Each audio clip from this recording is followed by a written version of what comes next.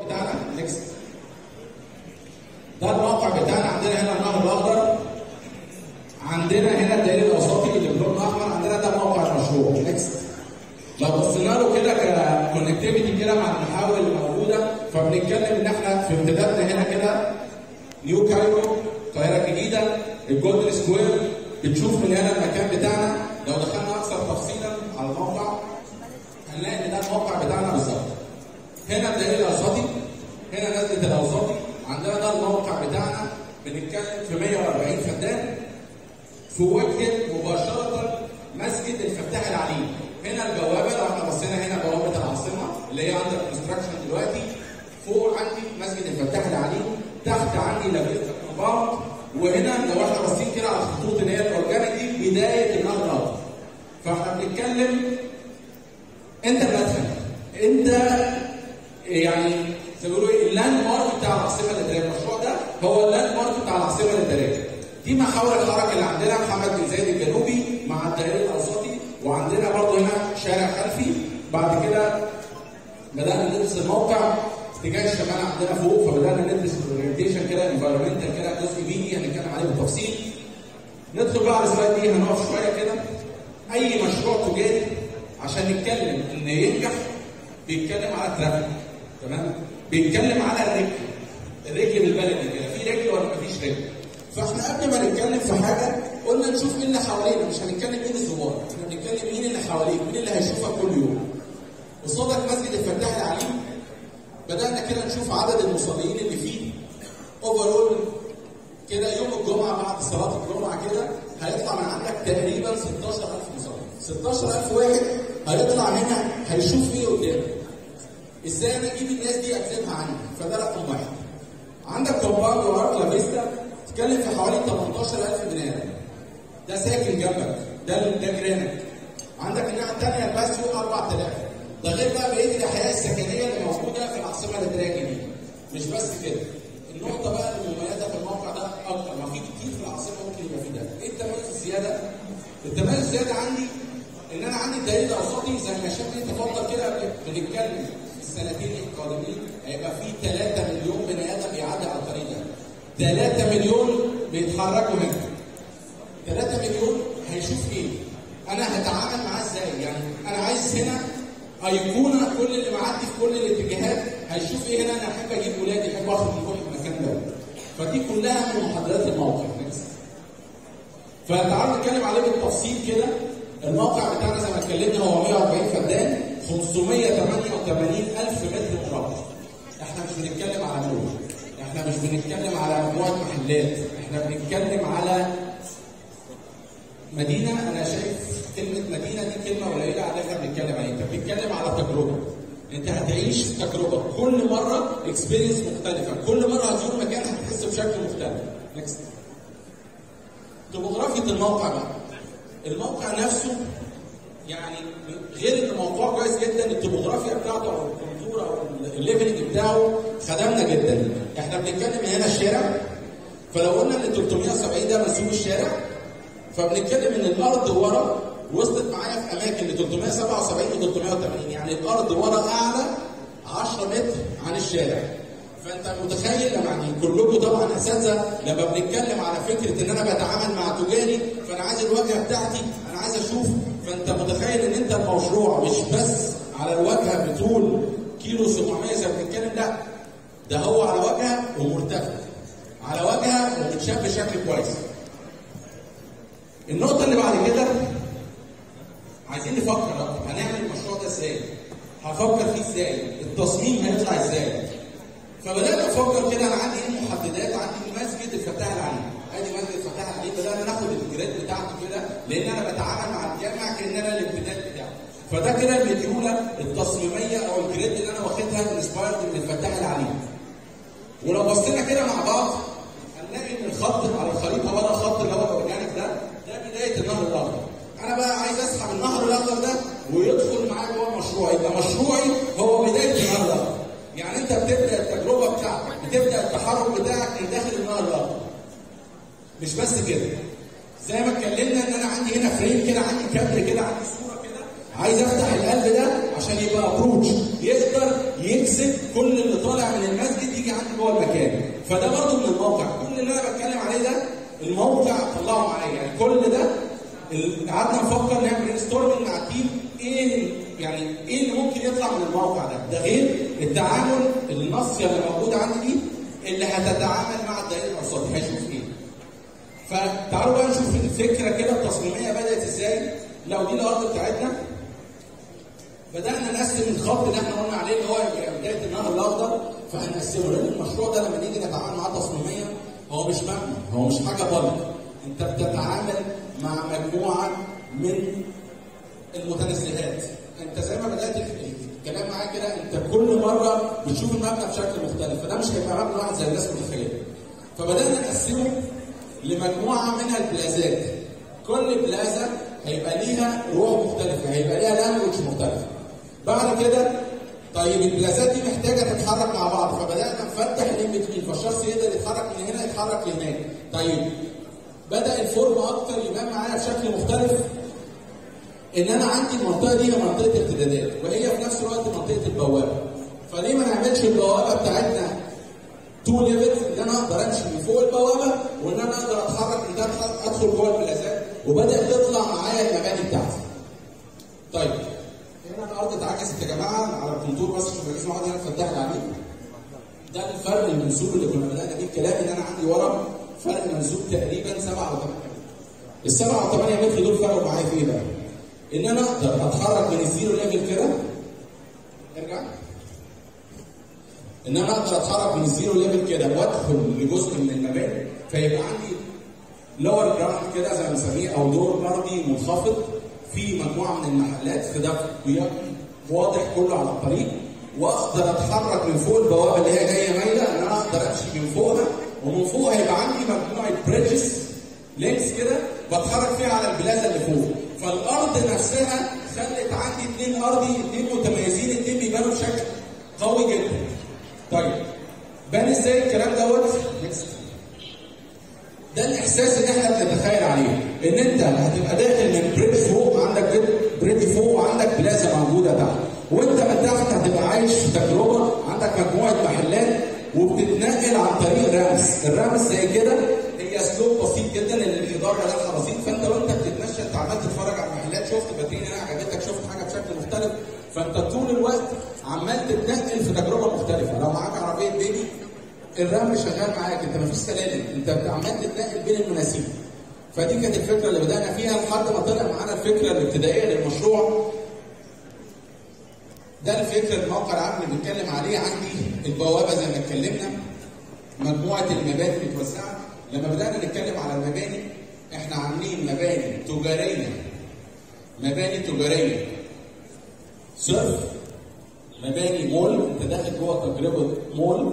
ب activities هنتكلم عليها بالتفصيل. facilities أول مرة تنزل مصر. حاجة ما حصلتش قبل كده. وبنتكلم على مباني إدارية. وبنتكلم على مباني طبية وكل بقى الفكرة medical مستشفيات عيادات تخصصيه عيادات تجميل صيدلات ما شابه ذلك. وبنتكلم على مباني اداره فندقيه فمجموعة مباني عندي بس اللي مفروغ منه إن إحنا كل الأرض في المشروع بلا استثناء هو تجاري.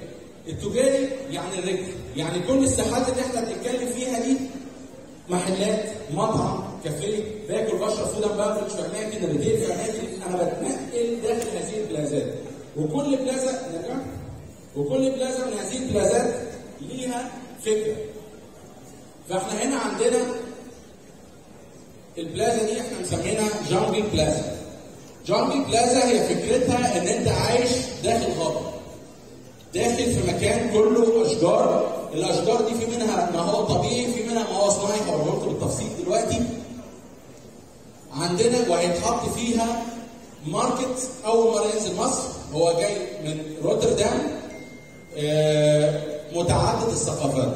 بمعنى لما تروح ال market الموجود في روتردام ده هو جاي كل بلد في العالم مشهورة بأكلة معينة. وليكن آه فرنسا مشهورة بحلويات المكرونة.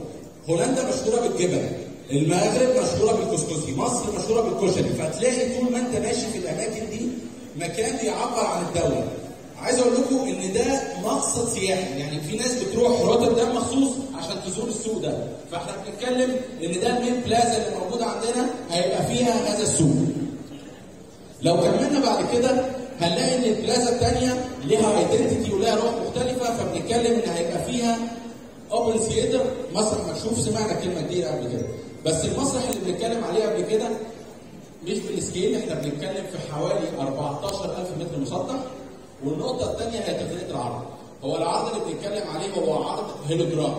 عرض هيلوجرام لو إحنا سمعنا كده حصل حفلتين في السنة الأخيرة حفله لام كلثوم كانت موجودة في قصر عابدين بتقنيه الهيلوجرام. يعني أنت بتدخل حفلة أم كلثوم قاعدة بتغني قدامك بشخصها وواحدة ثانية اتعملت عبد الحليم حافظ في مول العرب بنفس ال sequence. الحفلات دي بالكامل full box فاحنا بنتكلم إحنا بنعمل مبنى سنة 2022 2023 عقبال ما يطلع النور إن شاء الله مبنى بتكنولوجيا العصر. مش just مبنى شكله حلو خلاص لا هو مبنى تكنولوجي. يتعامل مع مدن الجيل الرابع المدن الذكية اللي هو توجه الدولة. طيب ده حاجة لو كملنا بعد كده هنلاقي إن عندي هنا ساحة بشكل مختلف. هي الساحة دي كلها قايمة على فكرة ال water features ال aquariums كلها قايمة على مساحه مائية لو سميناها كده اللي هي هذه البلازا بحيث يبقى تنوع في ال activities انت كل مرة بتيجي مكان طبعا بحجم المشروع ده أنت مش هتخلصه. أنت كل وقت هتعوز تاني كمل مكان ده كمل مكان تاني ده كمل مكان رابع وهكذا. يجي بقى آخر نقطة في الموقع العام اللي بنتكلم عليه هو التعامل مع الدائرة الاوسط النقطة اللي إحنا بدأنا بيها الكلام. أنا هتعامل مع الثلاثة مليون بني آدم اللي بيعدوا قدامي هنا إزاي؟ أنا هجيبه يدخل إزاي جوه المشروع بتاعي. عملنا هنا مطعم معلق أول مطعم معلق في مصر هيبقى في المكان ده على ارتفاع حوالي 38 متر هو مش مطعم واحد هي سلسلة مطاعم على أعلى مستوى هتبقى موجودة view بانورامي وفي نفس الوقت هي ال landmark هي العلامة المميزة بتاعت العاصمة الاداريه الجديده. نكمل؟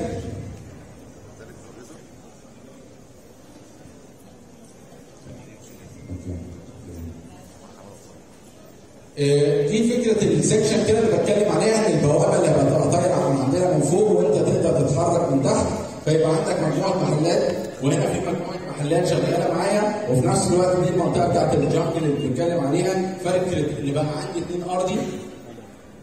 ال roof. ال roof مش just العاصمه اللي هي بتقول إن أنت عندك شروط إن أنت تعمل 50% في السقف solar panel ويبقى عندنا شوية خدمات كده للتكييف والكهرباء وما شابه ذلك. بس إحنا بقى عاملين فيه تجربة مختلفة تماما. أنا عامل لك نادي ال roof بس لمين؟ لأصحاب الشركات. للموظفين اللي في الاداري أنت مميز. أنت غير البلازا اللي موجودة عندك تحت اللي فيها كل ال activities لا ده أنت عندك فوق استخدامات. تقدر تعمل آه تلعب تقدر تاخد coffee break بتاعك تقدر تعمل meditation ايا كان أنت تعمل إيه. طب أنا بعمل ده ليه؟ أو بنتكلم في ده ليه؟ أو المنظومة هنا ليه؟ إحنا بنعمل ده عشان إحنا مش بنخاطب الشركات المصري بس. إحنا بنخاطب الشركات ال international.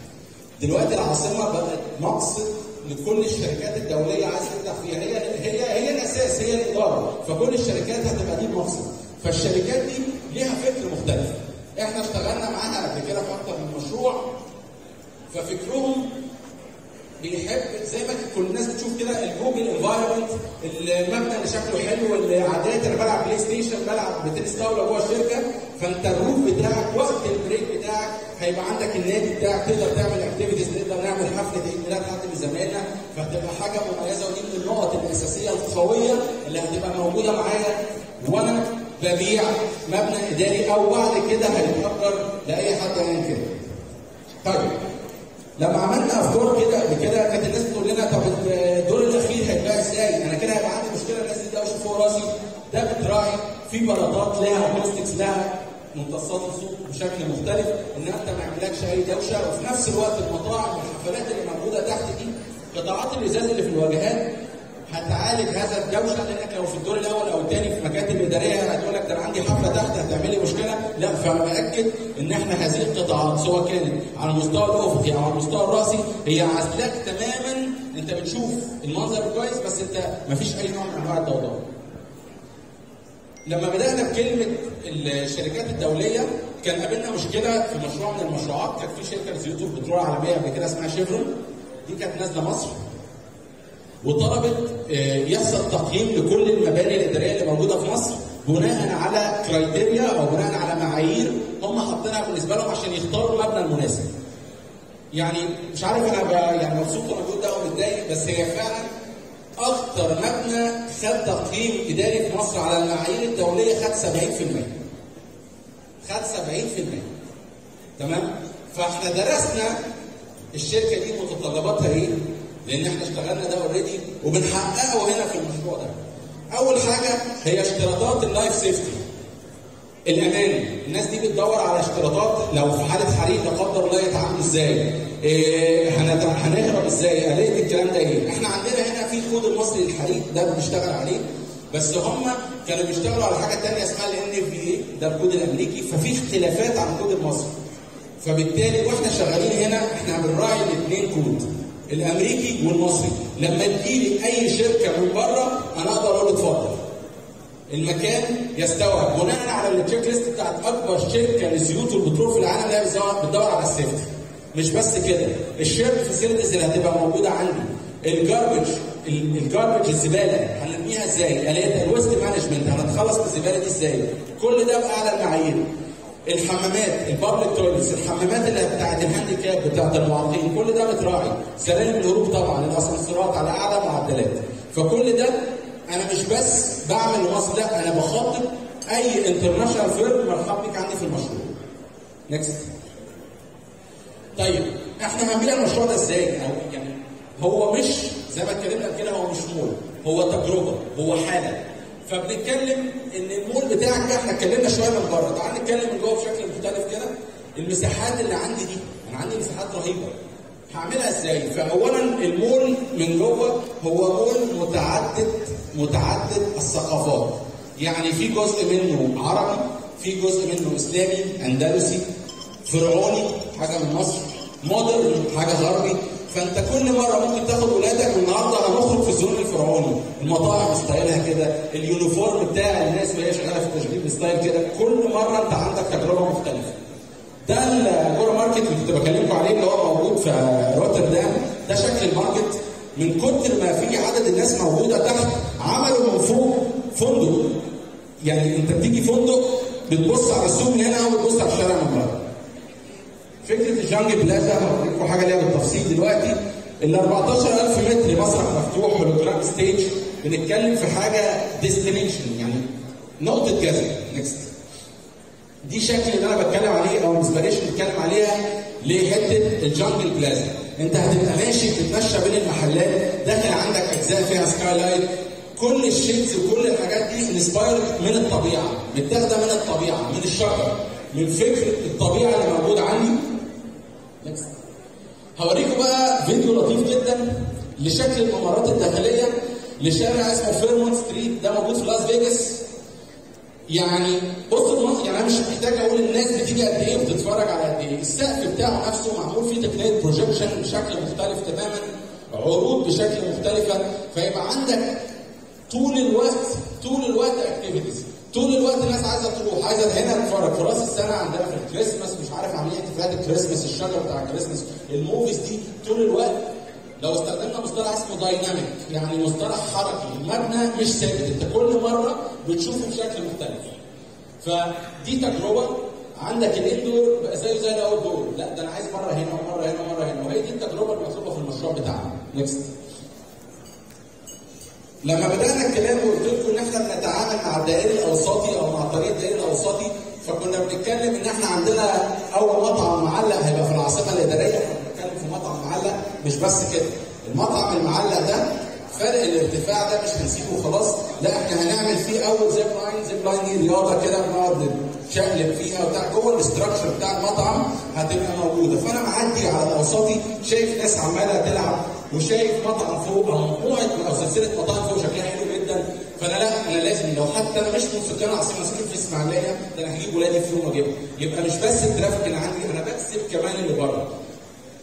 ال aquariums في الجزء بتاع الساحة المائيه اللي بنتكلم عليه هو كلته زي ما اتكلمنا قايم على فكرة الميه له ال aquarium that is إن أنت هتتنقل ما بين أماكن معينة كده زي دهاليز فبتعيش تجربة مختلفة إن أنت عايش جوه اكواريوم عايش جوه يعني أحياء مائية مع مجموعة من الأسماك و نقطة مختلفة جديدة.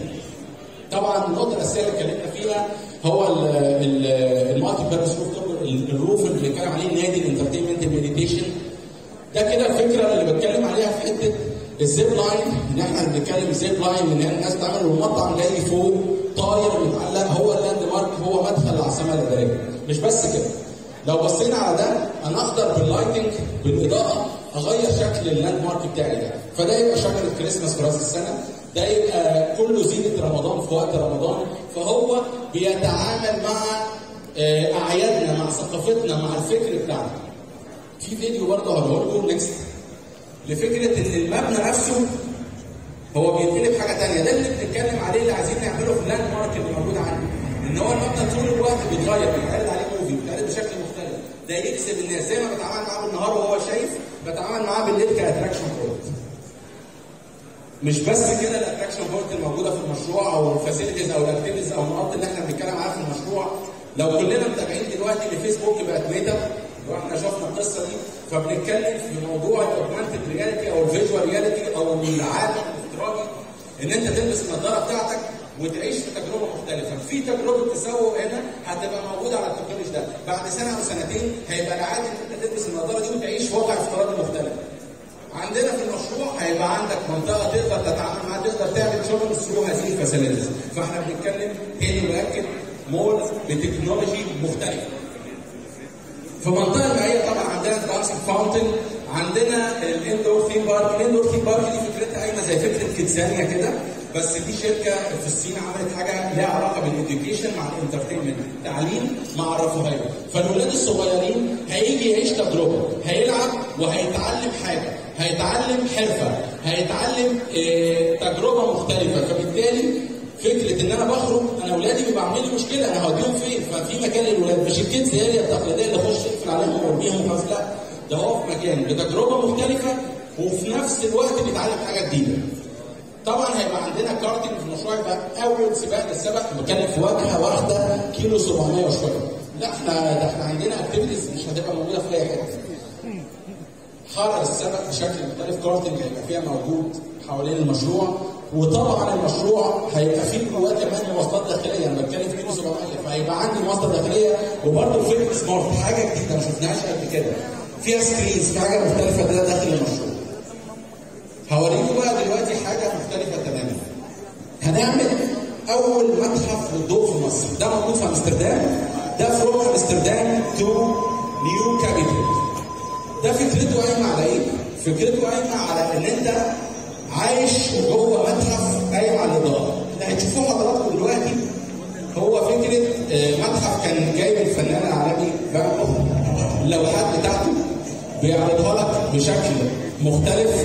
فهنشوف التجربة دلوقتي عامل إزاي. ده هيبقى أول متحف للضوء في مصر. الفكرة الأساسية فيه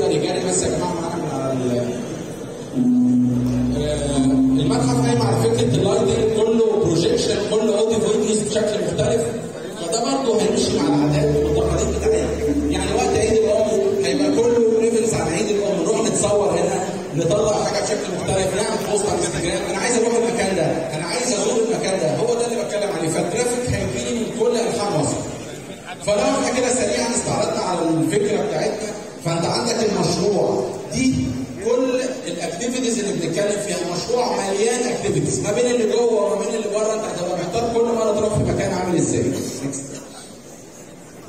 نخش بقى على الدراسة اللي عملناها للواجهات. لما بدأنا نفكر كده في فكرة نبات فرعوني فبنتكلم في اللوتس ده حاجة بتاعتنا الناس ده كان بيتعامل مع المية ففكره ان ورق الشجر نفسه بدات تتناثر فالخطوط في الواجهات بدل ما إحنا كنا هنشتغل sharp lines طب ما نخش خطوط عضوية أو خطوط organic فتبقى متناغمة أكتر مع ال landscape اللي بره والطبيعة next ففي الواجهة نفسها يبقى عندي الاحساس نفسه الخطوط اللي هي ال organic أو الخطوط اللي هي ال curves دي next مش بس كده ده أنا هبدأ أسطب المبنى وأقسمه لمجموعه من التراسات فانا في كل دور. عندي terrace بشكل مختلف عندي terrace هنا curve كبير ده مختلف. فالمبنى بقى فيه مجموعة levels وهنا إحنا بنتعامل معاه بمبدأ اسمه قانون الحجوم في التصميم.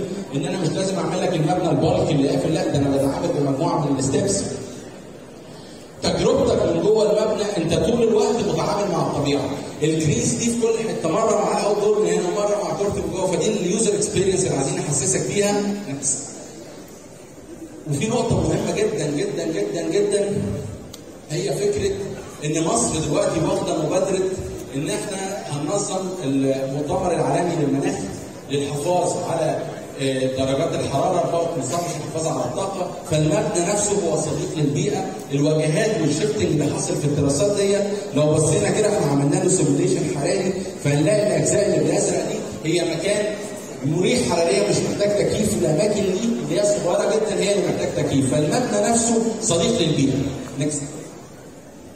فممكن ناخد حاجة اسمها LEED certificate ده اعتماد ال green building ده بيزود من قيمة المبنى لأنه مبنى صديق للبيئة مبنى مستدام. next مش بس كده إحنا معتمدين في كل التصميم على ال skylights داخل المشروع اللي انت يدخل لك عناصر اضاءه مختلفة.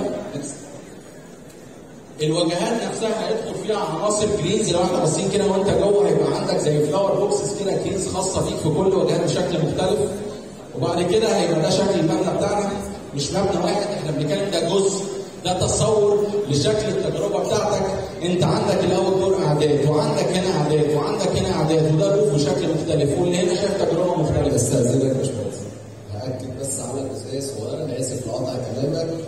وده مش design نهائي للواجهات ده تصور. عشان برضو الناس اللي بتتفرج هو ده مش ال design النهائي لشكل الواجهات ده تصور. لسه هنشتغل عليه وارد يتغير وارد يضاف حاجات تانية فحبيت بس أكد على الكلام ده لأن طبعا في ناس بتصور وفي ناس بتسجل فيبقى الكلام اللي بيتقال كلام صحيح. اتفضل باشمهندس. next. المبنى كل مرة هتشوفه بشكل مختلف. كل مرة في تجربه مختلفه. لو إحنا بصينا كده هنلاقي في ارتفاعات بدأت تظهر بس انت مش حاسس بمبنى bulk مبنى قافل الدنيا هي ال terraces في كل وقت محسساك بتجربة مختلفة. next.